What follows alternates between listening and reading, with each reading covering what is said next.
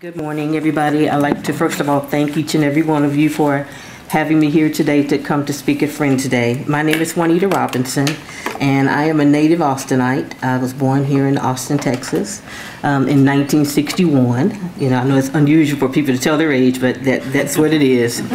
anyway, my life is, you know, not all that exciting, but I, I have, uh, I am thankful for the opportunity to come here to Austin Grad to study it, yes, it was very rigorous. You know, I work full time. You know, I work in Texas government. I've been in Texas government for more than 25 years. I, I manage a document management area, that, three distinct areas. Um, with people and processes, and, and I manage a budget in excess of $5 million a year. So I am very busy.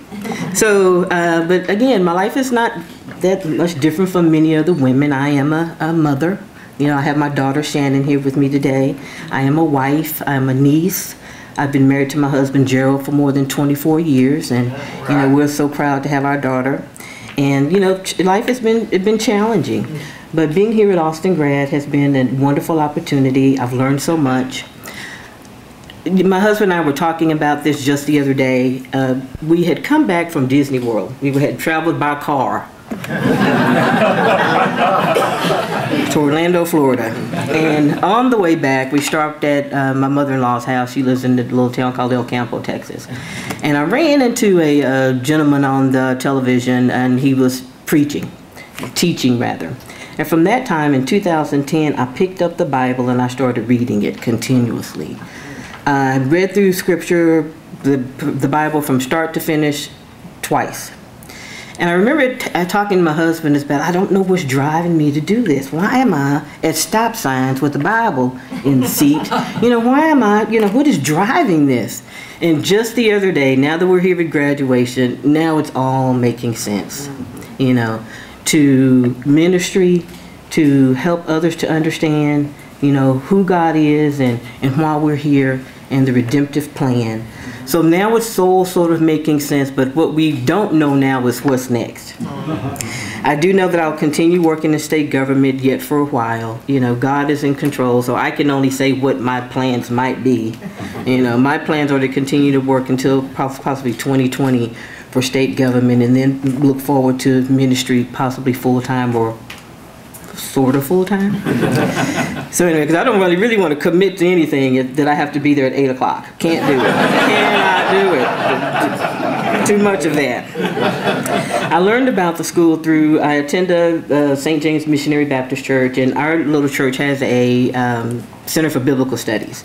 And so I met Malartha Bozier there, and also another man, I don't know his name, but when you go to you guys' website, he's there looking at, I think he's in the library. You all may know who he is, but I met him there.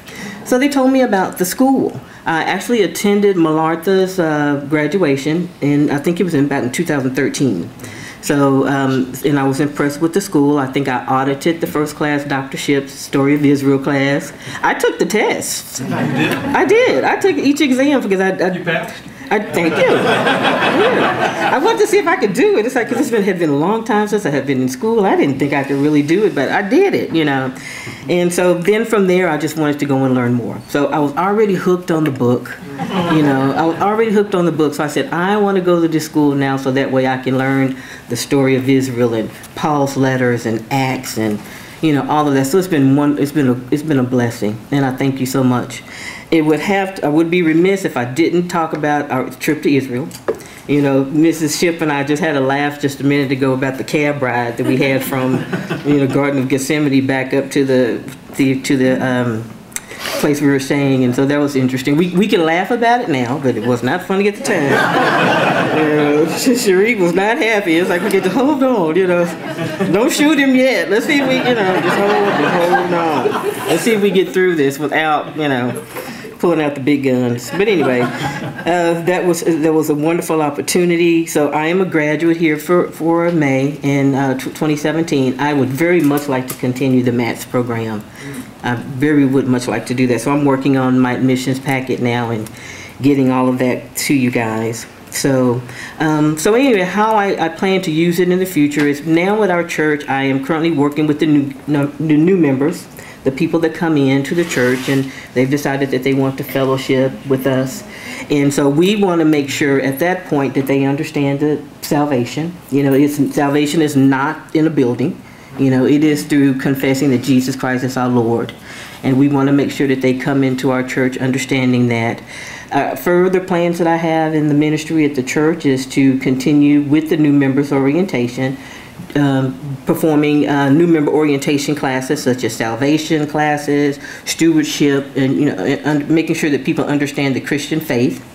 So we'll move forward with that. Um, a, a, broader goal that I have is to apply here in the summer uh, for the clinical pastoral program through Seton Hospital. I am interested in becoming a chaplain, and that's going to be hard work. So pray for me on that.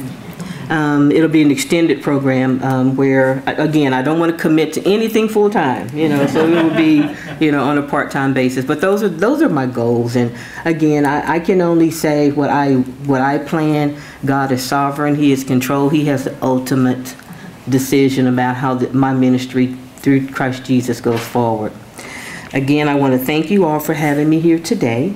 I have enjoyed meeting many of you. It's, it's great to put a face you know, with, with the name. So I thank you for having me today, and may God bless us all.